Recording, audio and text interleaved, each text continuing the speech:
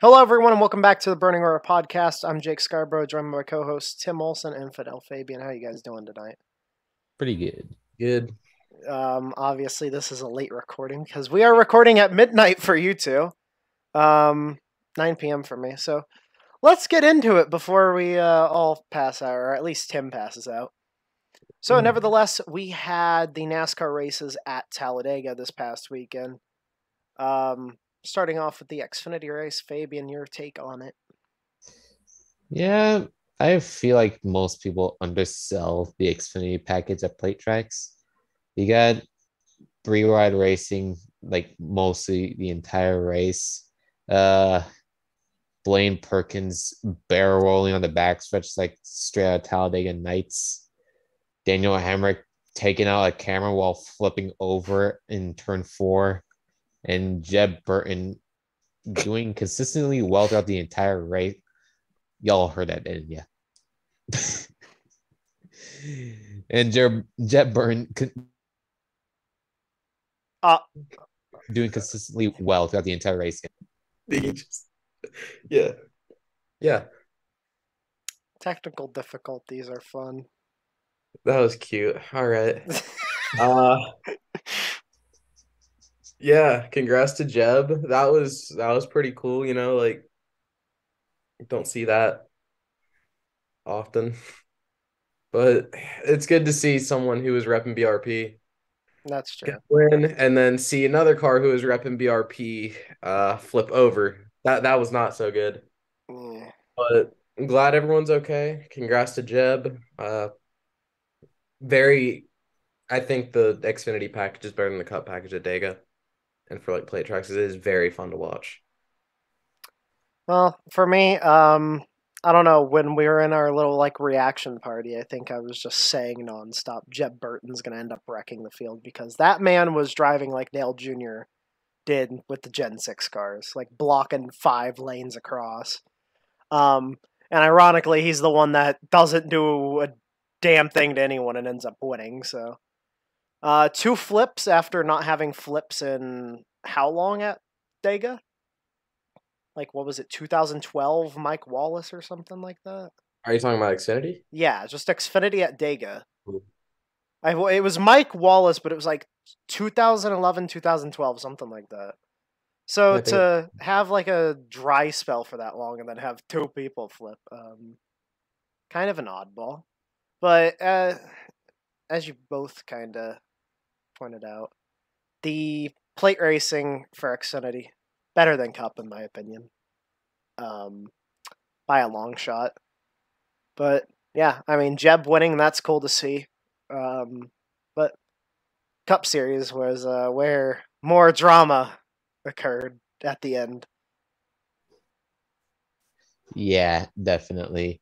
Uh, the fan base complaining about the cup package, which is fair, but also I think it's just mostly the drivers just not going that aggressively on like lap five, making three, four wide, because they're trying to conserve their stuff.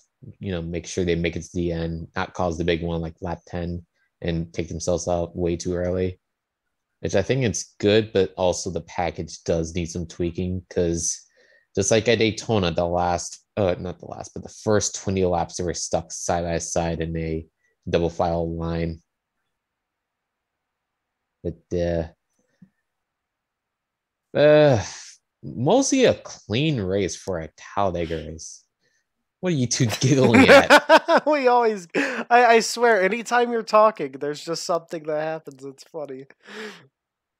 what happened? I don't know. We don't talk about it. Sure. Keep going. You're doing great, sweet cheeks. Well, I think it's your turn on this one, Tim. Um, Kyle Busch won. Good for him. Uh, I thought the recent like I, I like Xfinity a lot better for the drafting tracks, but I did like how there was a third lane that was emerging at certain points. Didn't last very long, but it it could help people gain places. Um also happy I got to got to meet Kyle Busch a couple days after. Uh Lucky bastard. yeah, so everyone watching, you live like Mooresville area, like near all the shops. Probably heard of GoPro Motorplex. Big go-karting place, very like competitive. They got fast go-karts and all that. Me and my buddy are just sitting there. Went there for my birthday, and in comes a group of four. And me and my buddy look at each other. was like, dude, that's Kyle fucking Busch. and like that, that was crazy. Went and got a photo with him. Super nice guy. Uh, something I didn't know would be on my bucket list that ended up getting crossed off of it. So And what's funny is I was literally talking to you earlier that day saying you should totally go to like the Colleague RCR shops, and you're just like, eh, they're too far. And then you end up seeing the dude that won that past weekend for RCR. that was that was great. It's meant to be. Stars aligned. Absolutely. Um, geez, the cup race. Um, I I don't know. I don't know re- really to say about the cup race. Fabian, there was like a weird stat you found earlier that there was like how many passes for the lead? 308. Yeah, so 308, which means absolutely nothing because it's easy to pass for the lead when you pass someone for the lead by literally an inch. And it just goes back and forth the entire time. Wait, there's 308 lead changes. Yeah. Yep. So does that like destroy That's the counting that that's counting just them being side by side and barely passing each other. Does that mean that that's like a new record by like a bunch? Yeah. 'Cause it- Wasn't it like Mhm. 80 something? Yeah. Cuz you can't you can't generate runs it seems in this car. I mean, you can generate runs, but it's kind of half-ass. I mean, we literally saw just two lanes stuck side by side all race. Um so yeah, I guess that's kind of boring. I'd rather we go back to Gen 5 plate racing. I feel like that's when uh a lot of people enjoyed it more, but apparently more, a lot of people still clown it for whatever reason. Um happy. It sucks. I don't know. Kyle winning though, I mean that's cool to see. You know, two wins, first ten races, similar to his first year at JGR. Um, so he's kind of rebuilding his career, even though he's like, you know, way far in it, two championships, all that. So it just seems weird. But I mean, not much to take out of it. I do have to comment though. When we did predictions last week, I made some wild decisions by picking Anthony Alfredo and uh, Ty Gibbs. I'd like to point out Anthony Alfredo finished dead last in the Xfinity race, and Ty Gibbs ran out of fuel on the final restart. Those weren't horrible picks. Those though, weren't horrible watch. picks, but that could have gone so much better. Like Gibbs was up there. Gibbs was up front all race. I was seriously thinking, like, did I really just pick the most random thing I could coming to mind? And it almost worked. And then he just runs out of fuel on the restart. So, um, yeah, kind of disappointing that I thought I made good picks for once and not really, uh, you know, my cold takes. But uh, you're gonna hear that for Dover, don't you worry. You always miss. Eh, uh, Even when I make a normal pick, they miss. Doesn't matter at this point. Yep. But uh, uh, what what day was it? Was it Tuesday? Uh, they put out the news yesterday that Josh Berry is coming back to the Cup Series because he will be filling in for an injured Alex Bowman who will be out like three to four weeks or something small like that. But anyways, uh, for my sprint car wreck during the high limit racing, whatever the hell it's called, that Kyle Larson runs. So, any any takes on Josh Berry coming back, or the you know Alex Bowman kind of being gone?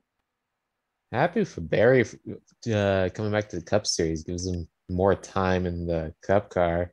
Show and he can show that what he can do in that car. But it sucks that another Hendrick driver and it's Bowman once again for another year that is going to be out of the car for several weeks.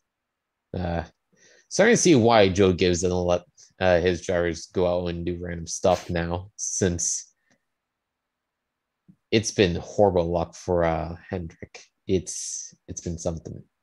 But I'm hoping Bowman get a pretty good recovery, even though most people who get a back injury don't really fully recover at all. Even that's mostly the reason why Gordon retired. That 08 crash in Vegas, it actually hurt him and kind of gave him a, a lot of back pain. Now, well, not to this day, he still feels that pain. I actually never knew that. That's Yeah, I've never heard that before, to be honest. yeah, no, I don't doubt it though. Um, good for Mm-hmm. as Fidel just said, good for Bowman or for Berry to get back into the car, but it I feel so bad for Bowman because it's back to back years. Just shit luck because last year he barely even tapped the wall and got concussed. And then I don't know, and then just another racing incident. But obviously hope he recovers fast and hopefully Berry will do good in the car, which I'm assuming he will.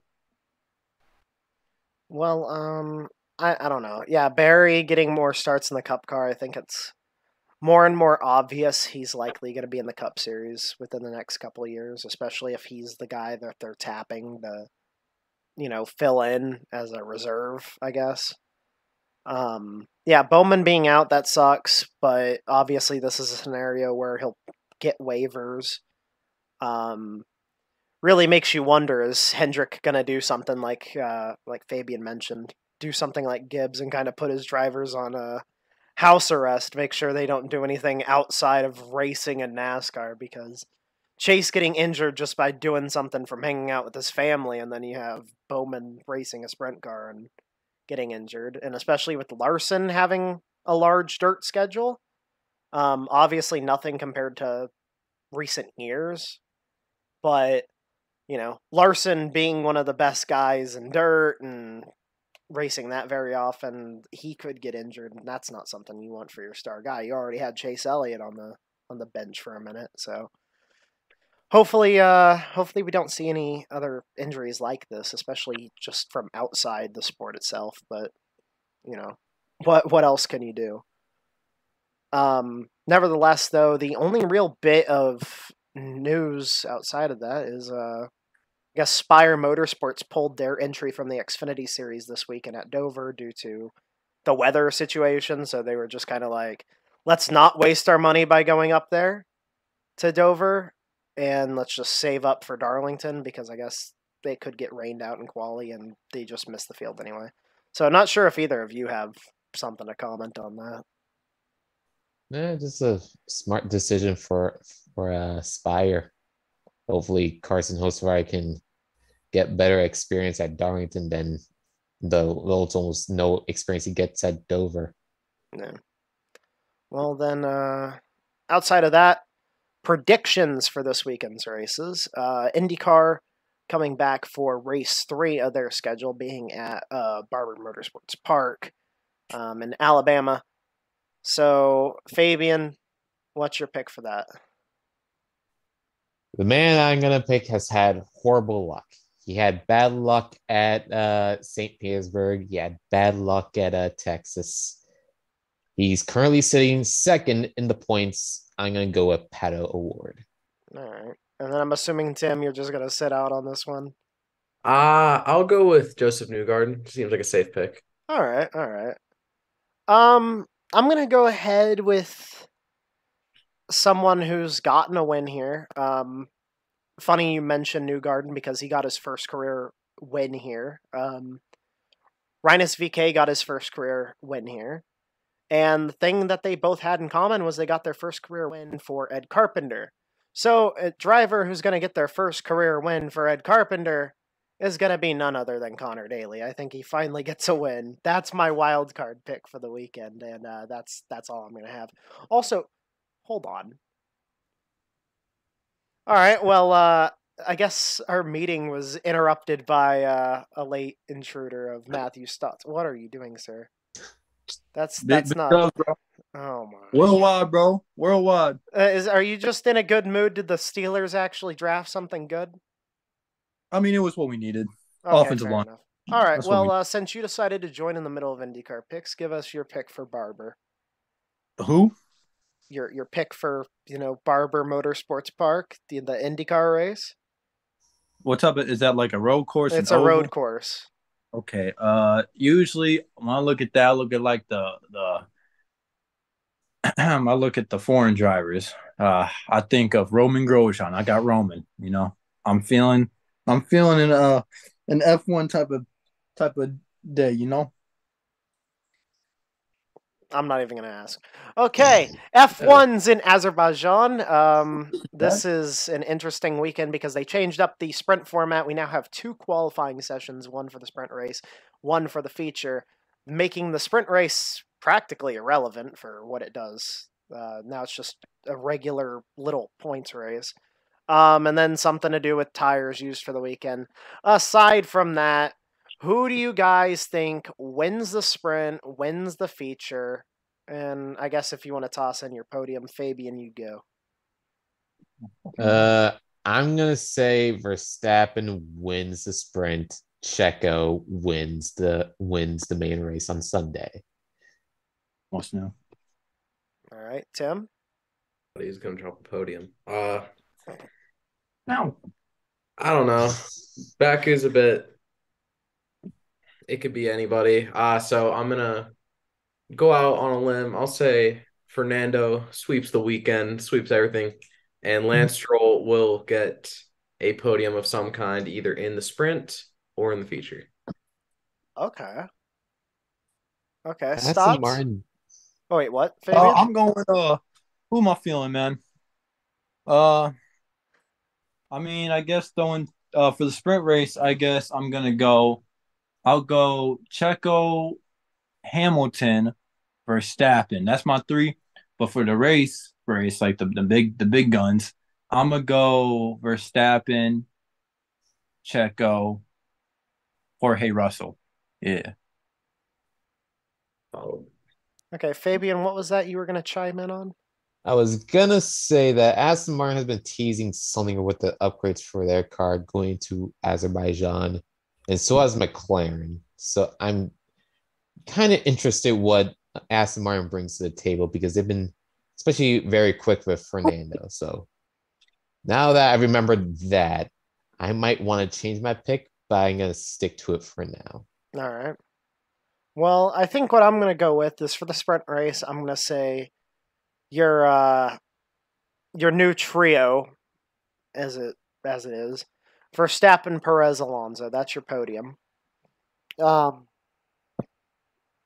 for the feature, for the feature, I'm going Alonso, Russell, Perez. I think uh, a little bit of a difference, but yeah, Well- Aston Martin getting to the top step. I see. I see. But uh, outside of that, now NASCAR predictions being at Dover. Truck Series is off again. Um, Xfinity and Cup, obviously racing. So, with that being said, picks for both series this weekend. I'm gonna go with Hemric winning at Dover. I don't know why, but I just have a feeling that Hemric's gonna win. Chase is gonna Chase, I feel like he's gonna have his comeback at Dover. He's won there last season. I feel like he can do it again. All right. Um, this man, he's he's due. He has to. He's going to win, and I'm positive of it. My accidental championship prediction. Uh, Brandon Jones. Will it happen? Hell no. But I don't know. He he has to do something good because this has been a shit show of a season. but uh Cup, I'm liking the way zero bias and the slightest. I'm liking the way the 11 car's been last couple weeks. Martinsville was a very good run, kind of a breath of fresh air. Someone who's who who kind of likes him, I guess. And then uh, yeah, Dega was good, and I'm he says that he sounded confident, so Hamlin at Dover. Mhm, mhm. Dover, uh, for the Xfinity series, I'm gonna be biased as fuck here. I'm gonna go. Go John Hunter. John Hunter, hot streak right now. I mean, he's smoking red hot, bro. I mean, smoking. Um, not just physically, but also when he's driving that car around. Just the car is great. He knows what he's doing. And Dover is kind of like I don't know if you wanted to call it a short track, but I call it a short track because it looked like a short track to me. And this Yeah. is kind of where I think suits him more than some of these boo boo mile and a half tracks. I think this is where he gonna get get another one. He gonna he gonna add a trophy to the case, and then for Cup, I'm gonna do the same thing. I'm gonna pick Chase Briscoe. This man is this this man's he's got top fives. He's got more top fives than he had nearly all season last year. And he, listen, this brother is something special. Okay, you need a you looking at superstar talent. I mean, this he is peaking at the right moment. It's near the middle of the season. He's doing his thing, bro. He looking nice. He's the three top fives in a row. He's gonna make it four. One, two, three, uh, four. He's making it four top fives, including a W this week in Martinsville or Martins, Martinsville, Dover. Even if they don't race, it's gonna happen on Monday. I'm calling it right now. It's gonna win. It's gonna be a win for the 14 crew. I would put fifty dollars on it, but I'm not shaking hands. Oh damn.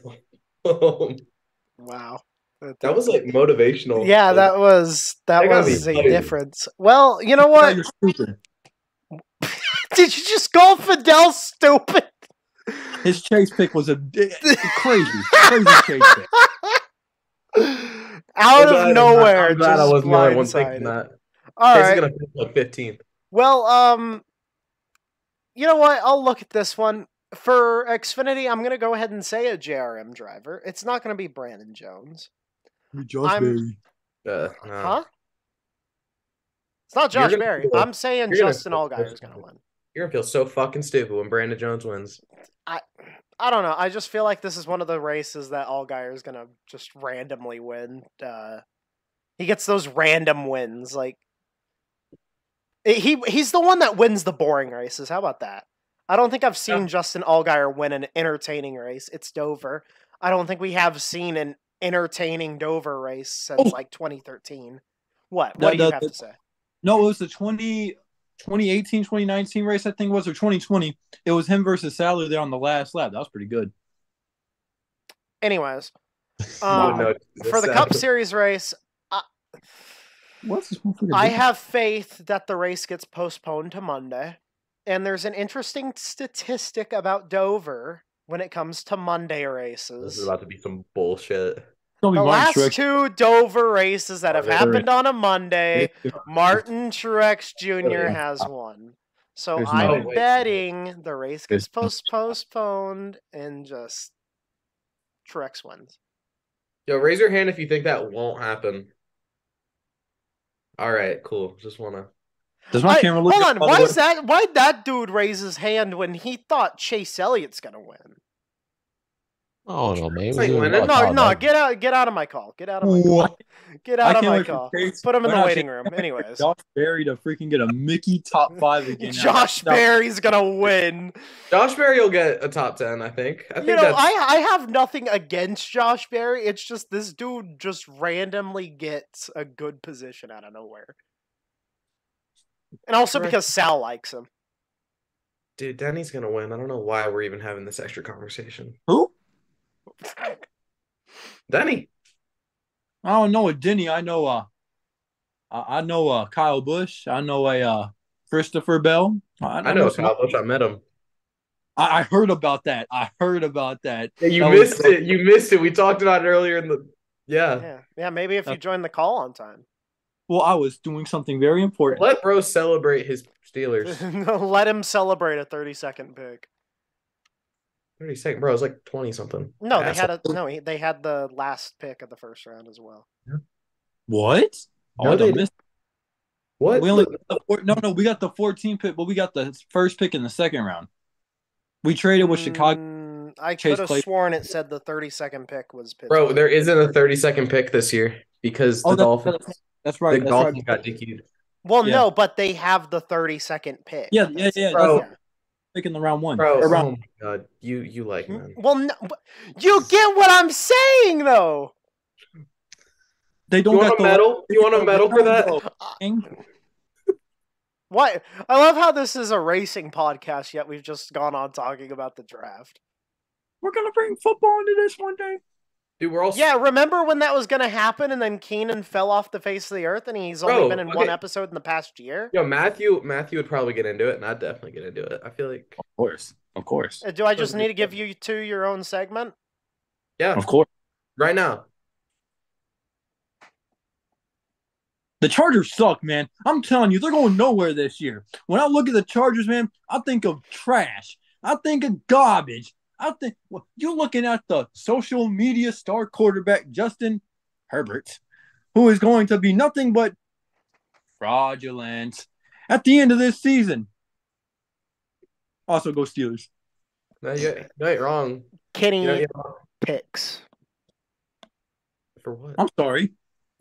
What did Mister Herbert the pervert do? What? Hey, did, Didn't hey, we did- didn't we at least make the playoffs? I'm cho- I'm choking. We made the playoffs, did you? I'd rather missed it with the way y'all played. Bro, it's 12:30 a.m. right now. Everything that's happening is a simulation. I agree. Fidel, what's your Panthers thoughts on? Bryce Young. Uh, How about you call out the fake Steelers fan down there? On God, bro. Name five players that we play or we got on the team. Name Wait, them right bro, now. is it- Wait, you're I a can't name fan? anything. I became a Steelers fan just so that you don't be lonely and sad. I'm gonna end this. I'm gonna end this before a murder happens. Anyways, Wow. thank you all for tuning into this week's broadcast. We'll see you guys next week with our rundown of Dover and predictions going Whenever it gets into whatever the hell track is next. With that being said, we'll see you then. Thank you all for tuning in. Goodbye. Peace out, y'all. I-